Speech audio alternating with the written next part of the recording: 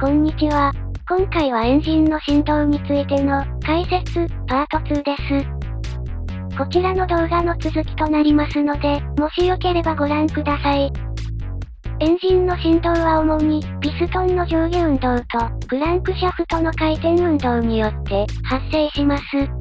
ピストンの上下運動に伴う振動は、前回の動画をご覧ください。今回は、クランクシャフトの回転運動に伴う振動と振動対策について解説します。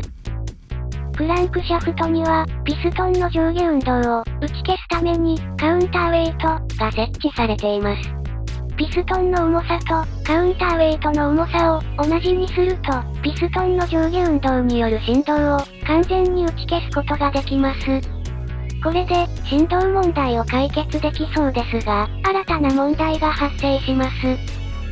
クランク角度が90度、または270度の時を考えると、上下の振動は打ち消すことができますが、カウンターウェイトが左右に揺れる運動が新たに発生します。ピストンは上下にしか動かないので、この左右の運動は打ち消されることがなく、エンジンの横揺れが生じます。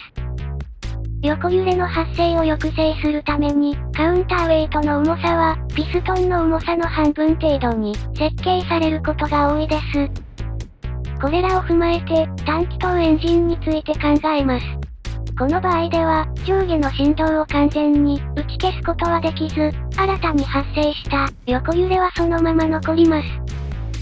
これらの問題を解決するために、クランクシャフトの横に、同じ重さの新たなバランスウェイトを設定して逆回転をさせます。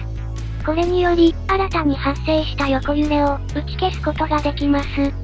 しかし、クランクシャフトを軸とした場合、モーメントが釣り合わずに、偶力が発生する可能性があります。風力の問題も解決する場合、バランスウェイトを2つに分けて、それぞれをクランクシャフトと逆回転させます。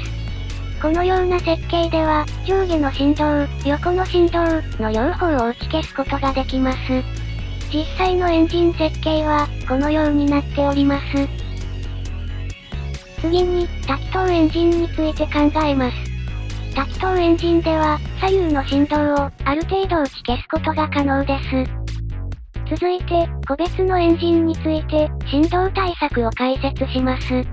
まず、3気筒エンジンと5気筒エンジンについて考えます。